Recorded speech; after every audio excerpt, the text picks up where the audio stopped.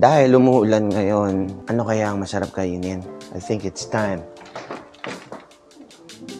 Ano kakainin natin? Bonggo, tinapa. Lumuulan ngayon. It's time. Let's go! Handa ka na ba? Dito kwento na. Saan tayo pupunta? Ah, daanan muna natin sa pangalan. Tara. Kaya magandang may, may dala kayong ganito para pagka if ever na maging flat ang buhay nyo, meron kang hangin na pwedeng ilagay. Let's go! Kukuha tayo na ngayon ng gulunggong. Gusto namin magmunggo kasi umuulan. O, kamamanday lang pero alam naman namin na hindi naman ata siya masama. Dahil sabi nila pang biyernes daw ang munggo. Ngayon pupunta kami muna kami ngayon dito. Titingnan namin yung maliit na talipapa. Tingnan namin kung meron. Kung wala, diretso kami ng palengke. Let's go! Oh, si Haha! Si Haha! Ayun oh. Ayun oh. Nasa kalsada. Ayun oh. Psst. Psst, psst. Ayun oh. Lang yan pusa. Ay, naglalakwatsa. May nagtatawag nga. Naririnig ko. Medyo makulimlim ngayon. Pero medyo maaraw-araw na yan dahil alam nilang nagtitito kwento na tayo kaya nakita na natin yung araw.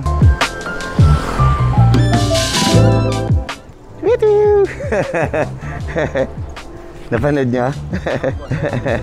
Yan sila oh. Hello kuya. oh. Hello po. Ayan, dito tayo sa Chance Store. Kilala ni Mami yun nandito eh. Sabi niya, no? Sinasabi ni Chance. Naintind... Merong ano? Oo, sabi ko sa iyo eh. Kumpleto dyan. Ayun, may galunggong na rito so hindi na kami lalayo. Yeah.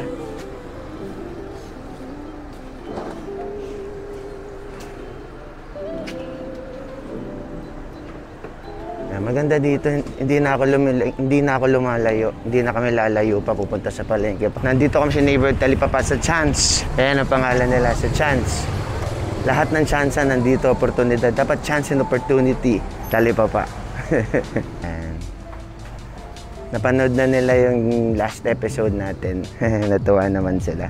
Sarap dito sa makipag-connect din tayo sa community natin para alam natin na nangyayari sa paligid natin dito, di ba?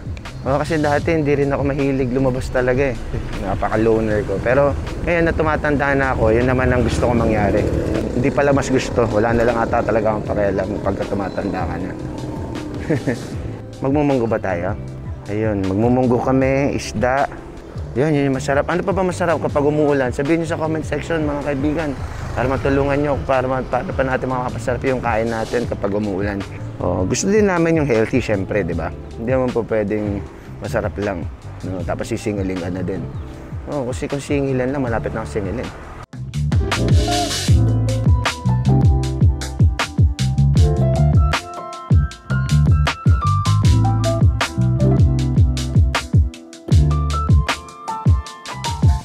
Maganda dito, malapit na lang din sa amin.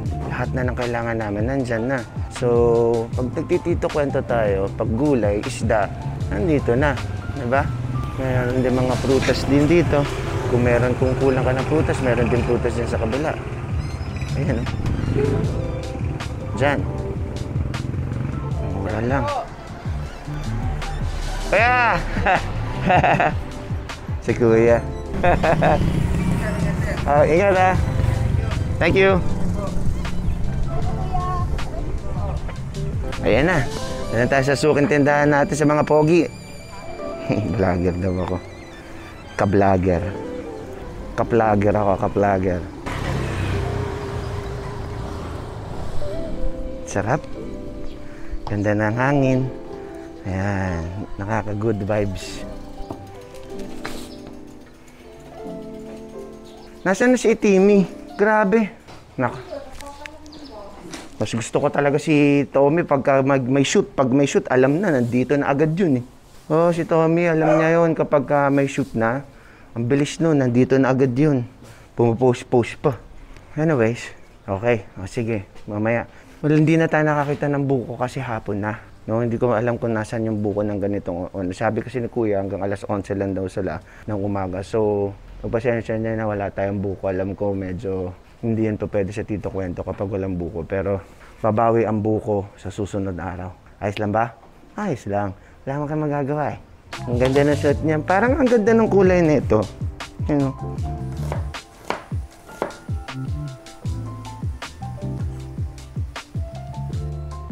Ano yan? Pipino?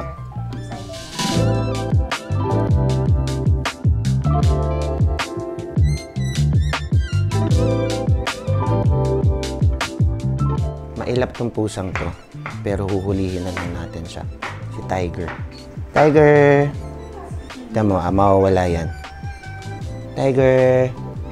Yan o. Mailap yan eh. Hindi yan nagpapahawak. Ayan. Tiger! Tiger! Tiger! O, ikaw na muna ha. Takot yan eh. Pero natututo na rin siya. Paunti-unti siguro. Ito pa yung isa natin. Siya pang mailap. Si Tifa. Ay, Tisha. Ayun, pumasok na. Yan, lagyan mo, asinan mo para mawala yung pait. Kumukulo na yung ano natin. Yung niluluto natin. Mm, madami tayong sibuyas ngayon na mukhang kasi mag-ano tayo, mag, ang tag doon? Magpipipino tayo. Yun yung, kasi ang sinasabi ko kahit anong lutuin natin, kailangan merong gulay kasi importante yun sa katawan. Nalak ni? Mhm. Sabi ni Daphne, hindi naman ikaw yung nag-isip nun eh. Ayun na si Timmy, ayun na si Chuchay, ayun na yung mga... Shh! Wala pa pala si Timmy, si Chuchay lang. Chuchay, saan kayo nang gagaling? Ha? Saan ka galing? Saan galing? Hmm, saan ka galing? Kailangan ko ng artista ngayon. Wala akong artista, wala si ano, eh, Timmy. Hmm. Na siya. Ikaw sa mga sulok-sulok pa talaga kayo. Yeah! mm, ikaw na muna ngayon, Chuchay, ha? Yan ang torte namin pusa. Siya yung nanay ng lahat. Mm, siya yung tunay na gangster. Kahit anong tapang ng mga pusang ng mga pusang mga lalaki, walang pinalag dito yun. Tito kwento, tapos walang pusa. Hindi masaya. Di ba? Di ba? Yan. Wala daw talagang ah, ginger o luya ang ang munggo. Pero lalagyan namin. Ano kay lasa? Sarap. Tapos nalagyan ko ng sili kaya spicy to. Yan, spicy. Spicy na munggo na merong ginger at saka sili. Then yung pwede pang i-upgrade eh. Yung mga pwede pa natin na, ay yung mga kinakain natin pang araw-araw. Pero hindi kasi pang araw-araw yan eh. Oh, gusto mo mga lamb of gout dyan? Bakit ba nagkakaroon ng gout sa munggo? Sa munggo ba? O dun sa karne? Sa karne, sa Kaya na magsabi, at uh, ayaw namin magtalo dyan. Lagyan niyo sa comment section kung bakit nakakapagpag-out ang munggo. Yung karne ba o yung munggo o yung taong nagluto dahil makasalanan siya. Meow! Meow! Ayan o, may baby pang ampalaya. Ano, ayan? Yan ba yun? hmm, dako ng ampalaya. Mmm. Mmm, sarap. Excited na akong kumain. ang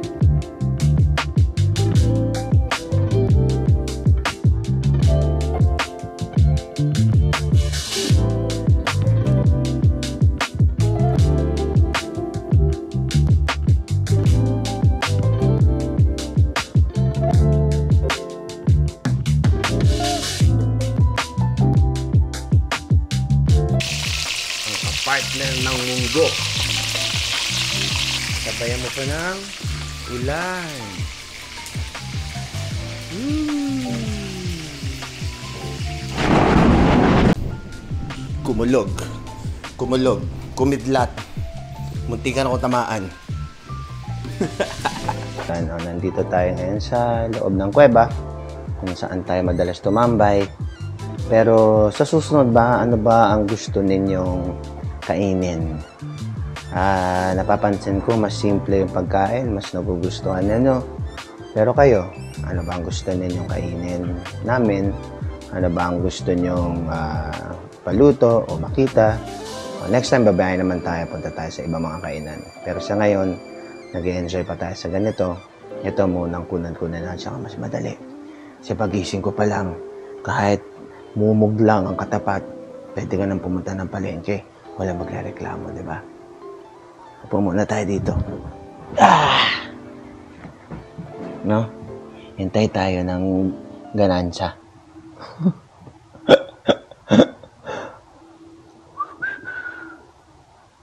so, meron tayong munggo, galunggong, tsaka yung siding natin na may pipino, sesame oil, sibuyas, chili flakes, tapos kalamansi. Tapos meron tayong, syempre, dudurugin natin to.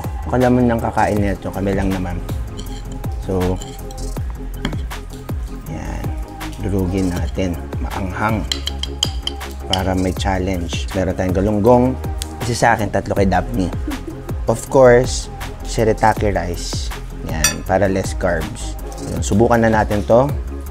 Sub Subukan muna natin to. Ang anghang.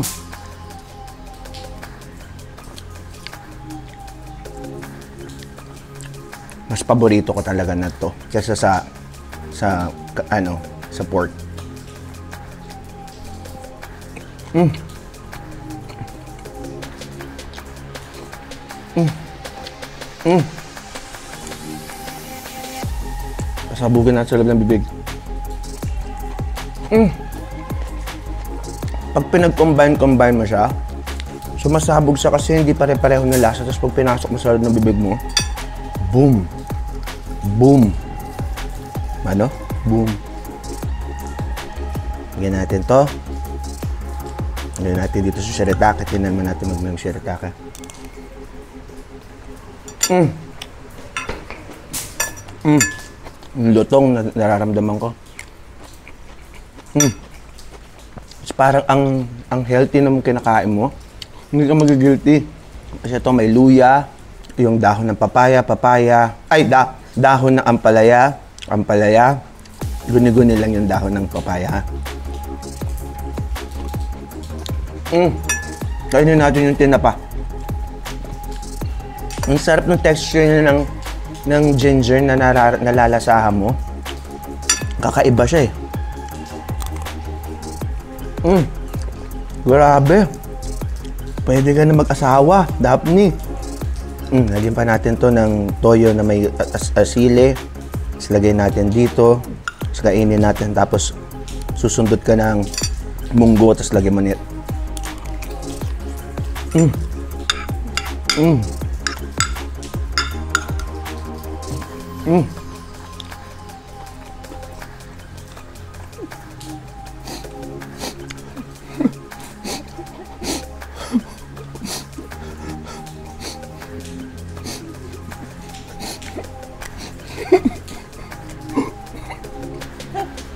Ang sarap mo! Anong ginawa ko sa buhay para makuha ko lahat ng to? Ang sarap mo! Ang sarap, Daddy! Yung, pakaramdam dito para kang nasa Tagaytay. No. Masarap yung may ano eh, may ginger. Alam niyo ba ang ginger? Sobrang maganda to sa katawan. Sama mo pa ng ampalaya, lilinaw ang mata mo. Ingat lang dun sa mga nag-asawa ng maaga kasi pag kumain kayo ng ampalaya, lilinaw ang inyong mata. Pag luminaw ang inyong mata, baka makita niyo ang katotohanan. Hmm. Tapos, kakain ka ng pipino. Ang sasabihin ko, nakalimutan ko. nakalimutan ko sasabihin ko, sarap eh. Mm. Mm. Siguro nakita mo sa caption sa baba puro, mm, mm, mm. Pag doon na nakita mo sa caption sa baba, ibig sabihin nun, Job well done, asawa. Sorry, ngumunguya ako habang... Sorry, ngumunguya ako habang kumakain. Hindi. Sorry, ngumunguya ako habang nagsasalita. Anyways, Maraming maraming maraming salamat kay Nichan. Follower page mga kaibigan sa pagluto nito. Dahil kung hindi dahil sa kanya, sardinas lang ang kakainin ko. Baka hindi pa mainit yon. Mga kaibigan, nakakalimutan ko yung kukwento ko ha. O nga pala, salamat nga pala Jessica, um, Jessica Soho. Maraming salamat kay Je- Jessica Baroga sa pag-suggest itong pagkain natin ngayon. Nanalo ka ng isang palakpak. Thank you sa'yo. At dun sa mga gusto niyo po pong mag- mag-suggest kung anong kakainin natin sa susunod, mag-suggest lang po kayo. Ah, kung gusto niyo rin magpadala ng pagkain, pera, okay naman din. Hindi, biro lang. Kidding aside, maraming maraming maraming salamat sa pag-prepare. At ah, ganito lang po yung gusto natin sa buhay. Simple-simple lang. And maraming maraming maraming salamat at sumama po kayo. Mas matagal pa yung pag-prepare kasi sa pagkain. Pero yun po yung pinaka-part ng journey. Kaya ko rin nagugustuhan gumawa ng mga, mga vlogs po na ganito. Dahil masaya siyang gawin, at same time, refreshing din kapag nagawa mo na. At alam ko din po na nagugustuhan din po niyo yung content. It's all worth it. Maraming maraming maraming salamat at kain po tayo. Umuulan, sarap ng hangin. Tapos bukas, June 13, mga kaibigan, may tugtog po ang keso, sama ang sinag, stick figures at marami pa pong banda. Cosmic Love, nandun din po sa 70s Bistro. Baka gusto nyo pumunta, maki-join po sa amin. Tutugtog din po sila Ouds sa Keso, saka sila Reg, makikijam po sa atin. Maraming maraming salamat, Itadakimas, at magkikita po tayo sa susunod na episode ng Tito Kwento. Thank you. Ano? Rap? Bakit ngayon ka lang? Tapos na yung shoot na saka ka dumating. Ha? Bakit ngayon ka lang? Bakit ngayon ka lang? Hmm? Okay mo yan. Ano kaya itong pusang to? Nom nom nom nom. Nom nom nom nom.